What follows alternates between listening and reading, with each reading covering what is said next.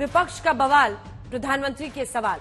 आज हम इसी मुद्दा पर चर्चा करेंगे। आज से बजट सत्र की शुरुआत हुई है। सत्र की शुरुआत के पहले दिन पीएम मोदी ने विपक्ष को नसीहत भी दी, विपक्ष से अपील भी की, विपक्ष पर हमला भी किया। उन्होंने पिछले सत्र का हवाला देते हुए कहा कि देश की चुनी हुई सरकार की आवाज़ दबाने की कोशिश हुई। ढाई घंटे तक प्रधानमंत्री मोदी का गला घोटा गया। पीएम मोदी के हमले पर विपक्ष ने पलटवार किया। आज भी सदन में विपक्ष का हंगामा और बवाल जारी रहा। हल्ला बोल में आज हम इसी सवाल पर चर्चा करेंगे। क्या बजट सत्र का मूड सेट हो गया है? क्या ये सत्र एक बार फिर से हंगामेदार होगा? पहले ये रिपोर्ट देखिए, फिर हमारे साथ तमाम मेहमान जुड़ रहे हैं, जिसमें से दो सांसद राज्यसभा के हमारे साथ जुड़ रहे हैं।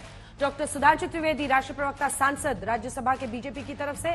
तो प्रियंका चतुर्वेदी, राज्यसभा सांसद, शिवसेना उद्धव बाला साहब ठाकरे गुट की हमारे साथ होंगी। सुरेंद्र राजपूत, प्रवक्ता कांग्रेस पार्टी के। लेकिन पहले ये रिपोर्ट।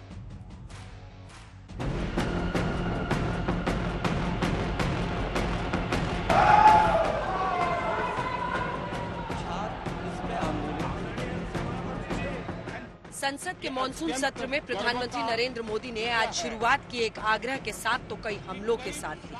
आग्रह ये कि नए सांसद हैं, उन्हें बोलने दीजिए, ये बजट सत्र दो के विकसित भारत का सत्र होगा, सकारात्मक योगदान दीजिए।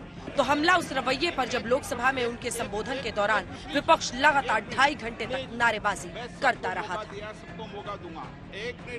और ये बजट 2047 जब आज़ादी के 100 साल होंगे, तब विकसित भारत का जो हमारा सपना है, उस सपने को पूरा करने की मज़बूत नींव वाला बजट लेकर के हम कल देश के सामने आएँगे। जितनी लड़ाई लड़नी थी, लड़ ली। जनता को जो बात बतानी थी, बता दी। किसी ने राह दिखाने का प्रयास किया, किसी ने गुमराह करने का प्रयास किया। लेकिन अब वो दौर समाप्त हुआ। ढाई घंटे तक देश के प्रधानमंत्री का गला घोंटने का, उनकी आवाज़ को रोकने का, उनकी आवाज़ को दबाने का, लोकतांत्रिक परंपराओं में कोई स्थान नहीं हो सकता। है और इसका कोई पश्चाताप तक नहीं है। प्रधानमंत्री मोदी के आग्रह और हमले पर विपक्ष ने चौतरफा पलटवार किया। प्रधानमंत्री जी अननेसेसरी कुछ ज़्यादा ही भावुक बनने की आ, की कोशिश कर रहे हैं। वो तो नॉन बायोलॉजिकल एंटिटी है ना? कमाल की बात करते हैं। भैंस मंगलसूत्र मुजरा से किसका गला घोटा जा रहा था? प्रधानमंत्री जी मैं बार बार कहता हूँ जब कभी दूसरों पर तबसीरा कीजिए सामने आईना रख लिया कीजिए और इससे बेहतर कोई आईना नहीं है। 140 करोड़ देशवासियों का गला 10 साल से मोदी जी ने घोट रखा है। आ, कभी अपने जहन में झाँक कर उसकी भी बात देख लें। और जहाँ तक संसद का सवाल है संसद का तिरस्कार संसद का की अनदेखी और संसद को एक तरह से कठपुतली बनाए रखने का काम वो प्रधानमंत्री मोदी जी ने किया है। प्रजातंत्र की जो धज्जियाँ उड़ाने का काम है, प्रधानमंत्री जी, आप पिछले दस साल से कर रहे हो। और जिस ढाई घंटे का आप, ढाई घंटे में आप इतना परेशान हो गए? ढाई घंटे में आप इतने परेशान हो गए, आप कह रहे हो मेरे पसीने छूट गए। भाई पसीने तो छूटने हैं। आप कह रहे हो मेरे को बोलने नहीं दिया। सदन में विपक्षी दलों को अपनी बात रखने का मौका मिलना चाहिए। दल से ऊपर उठ के हम जब देखेंगे जब वो पूरा विपक्ष को मौका देंगे बार बार हम कह रहे थे कि प्रधानमंत्री जी को बोलने से पहले दो मिनट का केवल दो मिनट का समय मणिपुर के उस सांसद को दे दें जि, जिसके क्षेत्र में इतनी गंभीर वारदातें हुई हैं इतनी गंभीर हिंसा हुई है। उसी को मौका नहीं दिया तो फिर मणिपुर की बात कैसे निकल के सामने आएगी? बस दो मिनट की बात थी अगर दो मिनट वो मान जाते तो ढाई घंटे हम मान जाते। समाजवादी पार्टी ने कहा संसद में हंगामा बीजेपी के सांसद ही करते हैं। लेकिन ये कैसी विडम्बना है कि जो चुनाव में हारे हैं वो लोग ऐसा बर्ताव कर रहे हैं जैसे चुनाव उन्होंने ही जीता है और उसी का नतीजा कि संसद में अवरोध है। तो प्रधानमंत्री कह रहे हैं कि गला घोटा जाता है सरकार का। ढाई घंटे तक कोशिश की गई। प्रधानमंत्री को बोलने नहीं दिया गया पिछले सत्र में। और सांसदों को नसीहत दी है कि सब जो है आ, काम करें देश के लिए आते हैं पार्लियामेंट। तो दल के लिए बीजेपी के सांसद ही तो गड़बड़ी करते हैं।